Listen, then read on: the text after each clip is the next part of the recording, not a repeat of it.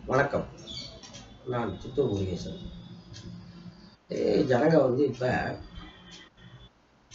மீச வர்றதுக்கு முந்தைய தொப்பை வந்துடுது ஆஹ், அதே போல் வந்து படிப்பை முடிக்கிறதுக்குள்ளவே தலை சொட்டை ஆயிடுது வெள்ளை முடி வந்துடுது எல்லாம் வந்து கிழவாடி ஆயிட்டான். கிழவாடி ஆயிட்டான். தெலுங்குல ஒரு கவிஞர் இருக்காரு ஸ்ரீஸ்ரீன்னு அவர் தான் எழுதியிருப்பாரு కొంతమంది కుర్రవాళ్ళు పుట్టుకతో వృద్ధులు வையால பிறக்கும் போதே கிழவாடியாக தான் பிறக்கிறான் அது ஒரு பக்கம் இவன் இந்த இளமை இளமை அப்படிங்கிறது வந்து தொடரணும்னா இளமைனா வந்து தலை நிறைய முடி கரு கருன்னு மீசை தாடி இது அது என்ன ஷார்ட்ஸை போட்டுக்கிட்டு ஊதாரியா சுத்துறது இது கிடையாது இளமைன்னா சிந்தனையில் இளமை. அது வரணும்னா வந்து என்னடான்னா வாழ்க்கையில வந்து ஒரு போராட்டம் இருக்கணும். என்னுடைய வாழ்க்கையிலேருந்து நான் சொல்றேன். இப்போ டிப்ஸு கேட்பாங்கல்ல. அண்ணே எப்படி நீங்க? அப்படின்னு கேட்பாங்க. அவங்களுக்கு நான் சொல்றேன். வாழ்க்கையில ஒரு போராட்டம். வந்து நாம கெட்டு போயிட்டோம்னு வைங்க.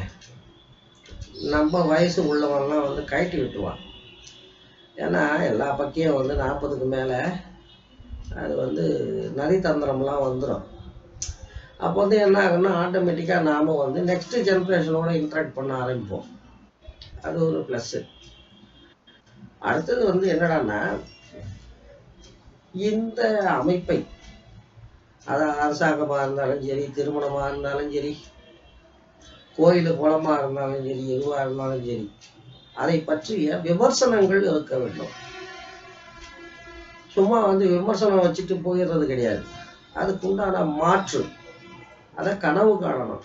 அப்போ வந்து அந்த இளமை ஊற்று என்பது வற்றாமல் தொடரும்.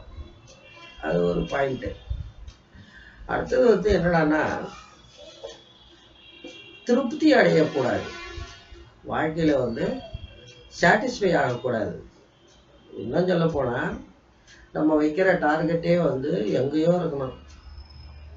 இப்போ அண்ணா காலத்தில் திமுகவில் எப்படிப்பட்ட ஒரு எழுச்சி இருந்தது? இப்போ கலைஞரும் கொஞ்ச காலம் அதை மெயின்டைன் பண்ணார். ஏண்டான்னா அடைந்தால் திராவிட நாடு இல்லாவிட்டால் சுடுகாடுன்னாரு திராவிட நாடு அடையிறமோ இல்லையோ அது அப்புறம் கதை அது ஒரு தூரத்து பச்சை. எப்போ வந்து அண்ணா திராவிட நாடு கோரிக்கையை கைவிட்டுறாரோ?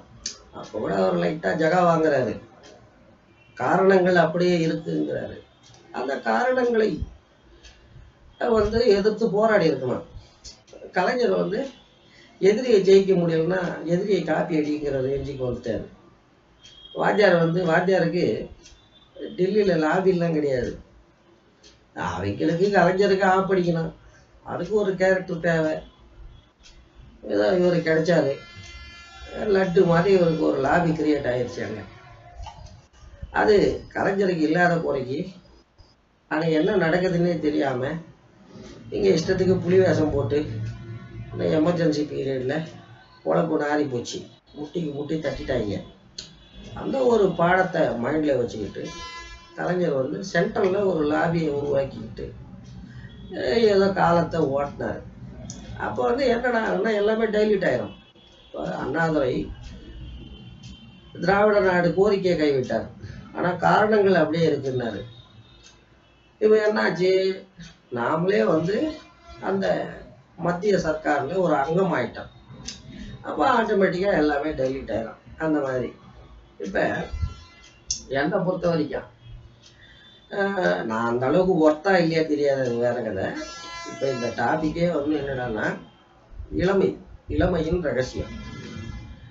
ஒன் மஸ்ட் நாட் ரிலாக்ஸ் இப்போ வந்து நீங்கள் சின்ன சின்ன டார்கெட் வச்சுக்கிறீங்கன்னு வைங்க. அதை ரீச் ஆனதும் ரிலாக்ஸ் ஆகிடுவீங்க இப்போ வந்து உலக அளவில் வந்து ஒரு சராசரி கணக்கு என்னடான்னா இந்த ஐம்பதுலேருந்து ஐம்பத்தஞ்சுக்குள்ள ஹார்ட் அட்டாக் வருதான். ஏன்டா வருதுன்னா வந்து சின்ன வயசாக இருக்கும்போது படிச்சிருவோம் படிச்சுட்டா வேலை கிடைக்கும். வேலை கிடைச்சிட்டா பஞ்சாதி வருவா.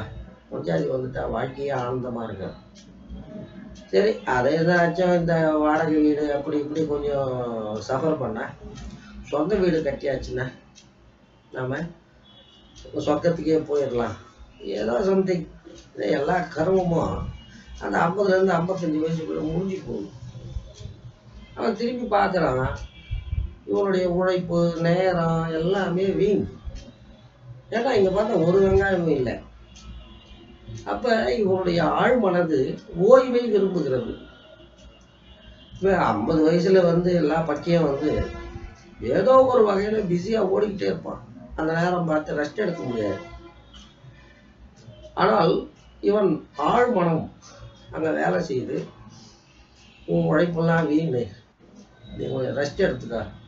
அப்படின்னு இந்த ஹார்ட்டு பிரச்சனையை கொடுக்கலாம். அப்படி அதுக்காக தான் நான் வந்து எப்படின்னா இந்த காரண காரியம்லாம் நமக்கு தெரியாது. ஒரு கனவு. என்ன? ஒரு கனவு. இப்போ காந்தி தாத்தா வந்து கவுன்சிலராக கூட நின்னதில்லை. ஆனால் வந்து பிரைம் மினிஸ்டருக்கும் ஹோம் மினிஸ்டருக்கும் தகராறுன்னா காந்தி தான் பஞ்சாயத்து பண்ணுவார். அப்படி ஒரு நிலைக்கு உயர வேண்டும். அதான் நம்ம டார்கெட்டு தமிழ் சினிமாவில் கோர்ட்டு சீன்லாம் ஜட்ஜி தலைமையில் காந்தி தாத்தா பொம்மையை காட்டுவாங்க. அது பக்கத்தில் நம்ம ஃபோட்டோ இருக்கணும் அவ்வளோதான் நாட்டு ஓவர் இது அந்த காலத்துக்கு மெட்டீரியலைஸ் ஆகும். ஆகவே ஆகாது. சரி அதுக்கு மட்டும் ஒரு டார்கெட்டு என்ன? சினிமாவில் சாதிக்கணும். சாதிக்கிறோமோ இல்லையோ அது வேற கதை. சம்பாதிக்கணும் அதை வர்ற காசை வச்சு ஒரு ஏசி பஸ்ஸு என்ன? ஏசி பஸ்ஸு அதையே ஒரு ஆஃபீஸு ஒரு ரெசிடென்ஸாக ஒரு மொபைல் புக் ஸ்டோராக மாற்றிக்கிட்டு ஒரு ஆல் இண்டியா டூரு பார்த்துப்போம். இது எந்த காலத்துக்கும் நிறைவேறாது. நிறைவேறாத வரைக்கும் நிறைவேறியாச்சு. அதுலேயும் ஒரு வெங்காயம் இல்லைன்னு தெரிஞ்சிடும். அப்போ வேணும்னா வந்து ஹார்ட் அட்டாக் வரலாம். இதான் வந்து இந்த இளமையின் ரகசியம். அதே போல் எப்போ வந்து உங்கள் மனதில் ரீச் பண்ண முடியாத கோல் இருக்கும் அப்போ வந்து என்ன ஆகும்னா நிகழ்காலத்தில் வரக்கூடிய இந்த சின்ன சின்ன பிரச்சனைங்க சின்ன சின்ன ஏமாற்றங்கள் இதெல்லாம் வந்து உங்களை வந்து எள்ளளவும் பாதிக்காது. ஒய்யால விடுறா இன்னும் எவ்வளவோ இருக்குது அதான் மேட்ரு நன்றி வணக்கம். சித்தூரிலிருந்து முருகேசன்